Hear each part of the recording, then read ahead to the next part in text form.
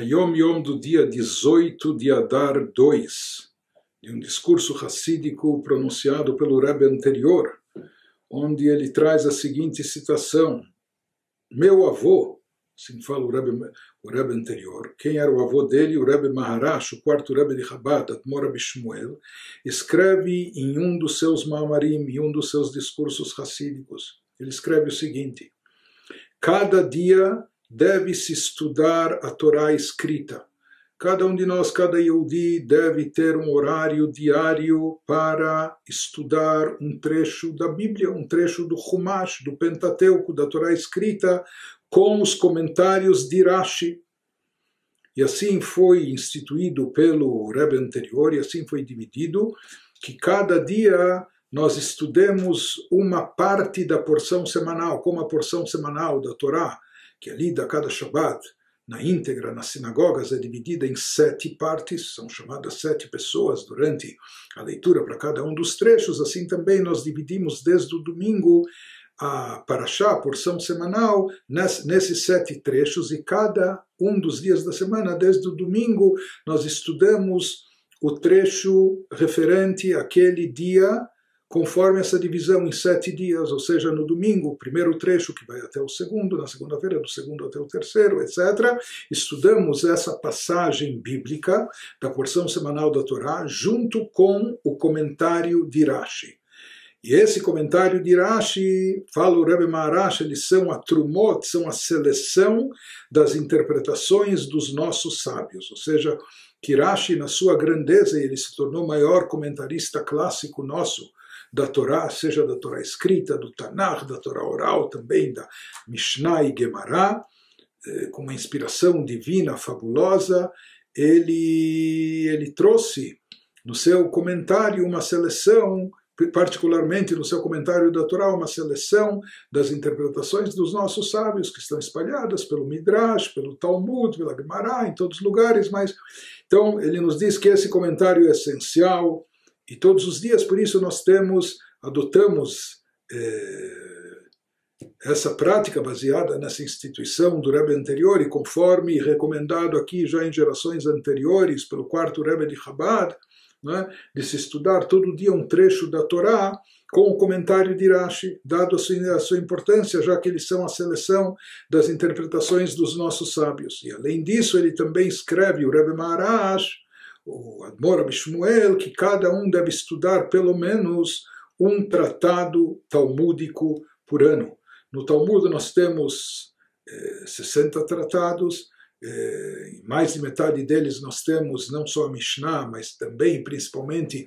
a Gemara. E quando nós falamos sobre estudar um tratado do Talmud, a gente se refere em geral ao estudo não só da Mishnah, mas também da, do tratado inteiro, junto com a Gemara. Então, cada pessoa deve procurar estudar pelo menos um tratado por ano, e nós já vimos também que o Alter Rebbe, conforme trazido no Tânia, aqui mencionado também no Ayom Yom, ele incentivou a divisão de todo o Talmud entre a comunidade para que todo mundo, que cada um escolha um determinado tratado e dessa forma, dessa forma, dessa maneira, cada ano entre os frequentadores da sinagoga ou eh, as pessoas daquela cidade, cidade maior, cada sinagoga, cidades menores, todos em geral, juntando todos, se consiga completar o Talmud, mas que cada um procure estudar no mínimo um tratado talmúdico por ano, além desses estudos. Aqui ele menciona o estudo do Humash, mas na verdade, como nós já vimos, isso é uma das coisas também que o Ayom Yom, a publicação e edição do Ayom Yom, eh,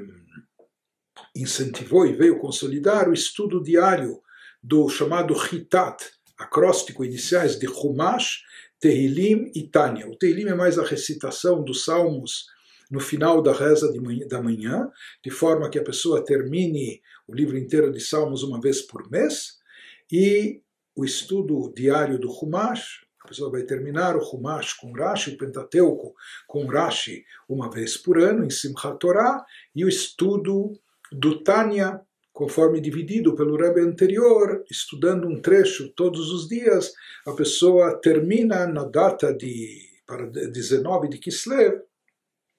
Na véspera de 19 de Kislev, ele termina o estudo de todo o Tânia. Nós vemos que em todas as gerações os rebes sempre incentivaram e conclamaram a gente ao estudo da Torá e que a gente fixasse horários regulares para o estudo da Torá e que isso deve fazer parte do nosso cotidiano. Horários diários, todos esses estudos, leituras são coisas para ter no dia a dia. O nosso Rebbe depois acrescentou estudo de Maimônides diário também. Existe, enfim, a própria Gemara, quando a pessoa tem que terminar um tratado por ano e assim por diante. E se fala que dessa forma a gente até mensura e avalia um Hassid. Ou seja, uma pessoa para ser um Hassid, ele não pode, não, não, não funciona, não dá para ser um Hassid sendo ignorante em termos de, de conhecimento da Torá. Ao contrário, para ser um verdadeiro Hassid, a pessoa tem que saber e conhecer bastante, por isso tem que estudar e conhecer bastante, não só ter estudado, mas se fala que o que, como se mede e avalia um Hassid, pelo que ele está constantemente estudando, regularmente, diariamente, que ele tem os seus horários fi, fixos para estudo da Torá, que, que o estudo da Torá faça parte essencial do seu dia a dia, esteja presente de forma intensa na sua vida, cada um desses estudos que foram sugeridos, recomendados, enfatizados pelos nossos rebes, pelos nossos mestres sagrados.